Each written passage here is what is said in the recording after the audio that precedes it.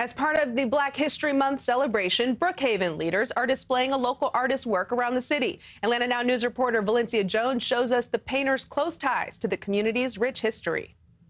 The colors that you see are always going to be bright and um, powerful because I want to make an impact. These beings that you see are representations, my representation of souls. 32 year old Turiya Clark says her artistic journey is a spiritual one. It all started when she was two years old. Ever since I was a child, I always had a love and a liking and a connection to art. I went to Chamblee Middle in high school. They had a really great art program.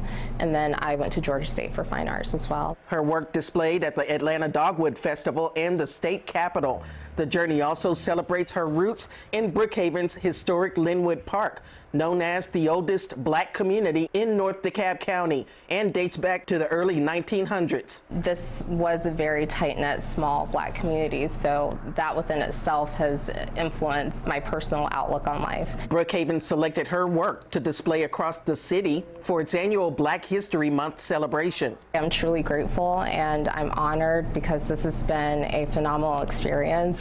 It was a no-brainer. She's a Lynwood Park resident. She has family in Lynwood Park. Her art is about Lynwood Park, and Lynwood Park is Brookhaven. Her artwork is showcased at City Hall, Explore Brookhaven, and in the Lynwood Park Recreation Center. Her work at the Windsor Osborne Crosswalk also captures the Lynwood Park heritage, where the city unveiled markers last June celebrating the community's history. My family as well, they've always been very supportive. She's got a God-gifted talent that I'm very proud of her and always going to be there to support her. Clark says she's also thankful for those who have opened doors for black artists. The sky is truly the limit. There shouldn't be a reason to not go for that dream. Brookhaven will have her work on display through February. They're also posting interviews of historic figures and community leaders on social media. Valencia Jones, Atlanta Now News.